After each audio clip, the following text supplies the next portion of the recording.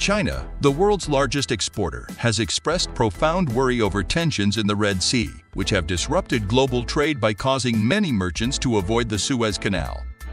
Welcome everyone, in today's video, we're going to tell you China's big prediction after US airstrikes on Houthis. Chinese officials have asked their Iranian counterparts to assist Iran in attacks on ships in the Red Sea by Iran-backed Houthis or risk damaging commercial relations with Beijing, according to four Iranian sources and a diplomat familiar with the situation. But before we proceed the further video, if you're new to this channel, remember, go ahead and to hit the bell icon to subscribe, so you won't miss the informative videos we will upload in the future. The discussions concerning the attacks and trade between China and Iran occurred at many recent meetings in Beijing and Tehran. According to Iranian sources, who declined to identify specific dates or attendees. Basically, China argues, if our interests are hurt in any way, it will have an influence on our commerce with Tehran. So advised the Houthis to exercise caution according to one Iranian official briefed on the talks who spoke with Reuters on the condition of anonymity.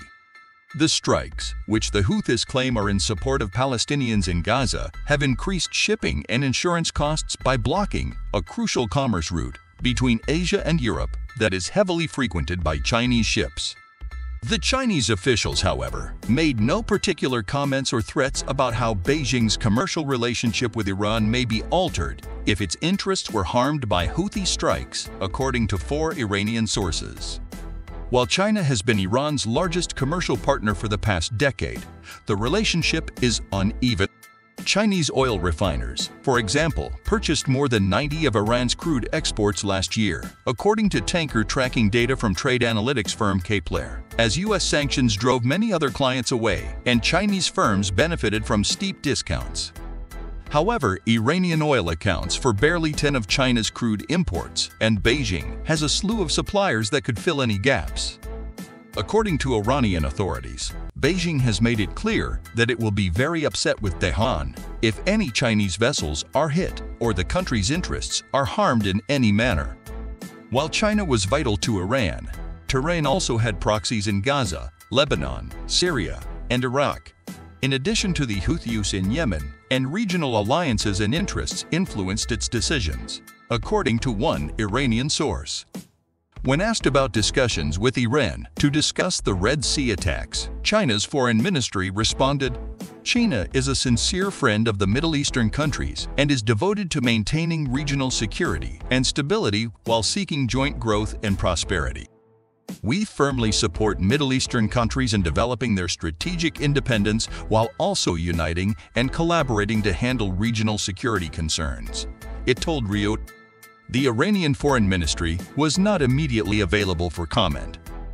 Military raids by US and British forces on Houthi targets in Yemen this month have failed to halt the organization's attacks on shipping. The group controls a substantial portion of Yemen, including the capital Sana'a and much of the country's Red Sea coast via the Bab al-Mandeb Strait. The Houthis, who first appeared in the 1980s as an armed force opposing Saudi Arabia's Sunni Islamic Authority in Yemen, are armed, sponsored, and trained by Iran and are part of its anti-West, anti-Israel axis of resistance.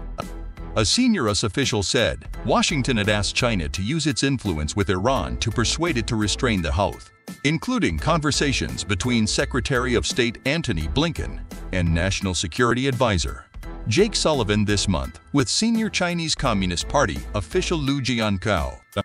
A senior Iranian source stated that while Chinese representatives thoroughly articulated their concerns during the sessions, they never referenced any requests from Washington. On January 14, China's foreign minister Wang Yi called for a stop to attacks on civilian ships in the Red Sea without identifying the Houthis or mentioning Iran, and for the preservation of supply lines and the international commercial system. Victor Gao, chair professor at China's Soochow University, stated that China, as the world's largest trade nation, was disproportionately harmed by the shipping interruption, and that restoring Red Sea stability was a top concern. However, Gao, a former Chinese diplomat and consultant to oil giant Saudi Aramco, said Beijing would see Israel's treatment of Palestinians as the fundamental cause of the Red Sea problem and would not publicly blame the Houthis. When asked about bilateral discussions between Iran and China on the subject, a U.S. State Department official declined to comment. According to a diplomat familiar with the situation, China has been in contact with Iran over the topic, although it is unclear how seriously Tehran is taking Beijing's advice. Two Yemeni government officials who oppose the Houthis claimed they were aware that other nations, including China, had attempted to persuade Iran to rein in the Houth. According to analysts Gregory Brew of Eurasia Group and Ali Vaez of the International Crisis Group, China has potential power over Iran due to its oil imports and Iran's desire to attract more Chinese direct investment in the future. However, both stated that China had previously been hesitant to use its leverage for a variety of reasons.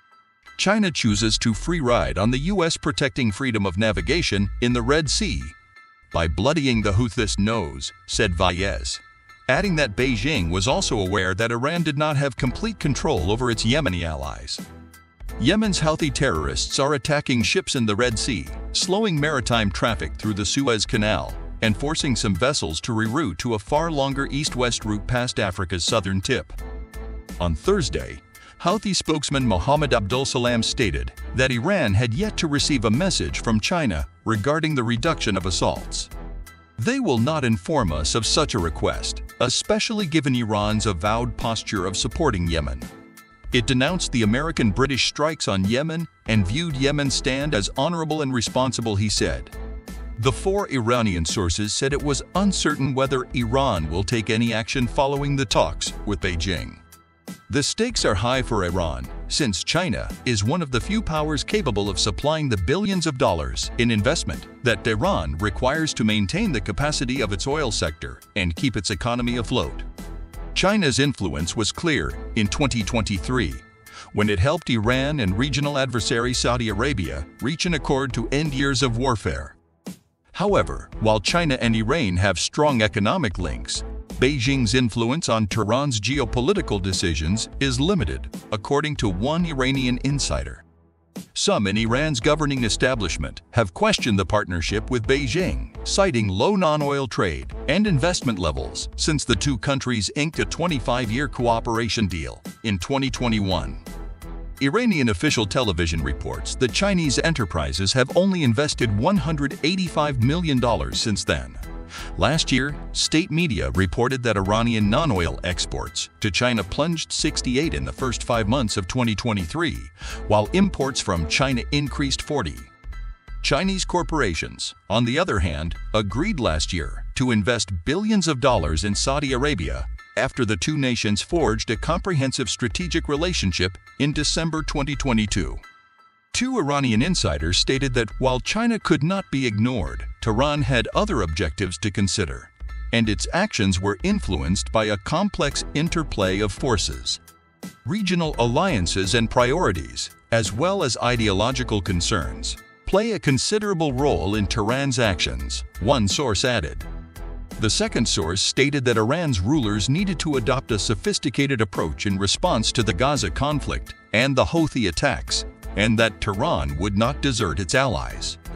Iran's role as the leader of the axis of resistance, which includes the Houthis, Lebanon's Hezbollah, Hamas, and militias in Iraq and Syria, has to be balanced against the risk of being drawn into a regional battle over Gaza, according to Iranian sources. That's all for today's video.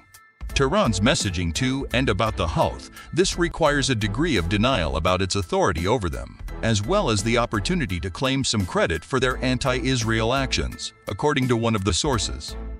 Don't forget to like the video and hit the subscribe button to avoid missing any new videos from our channel. Thanks for watching and see you all soon.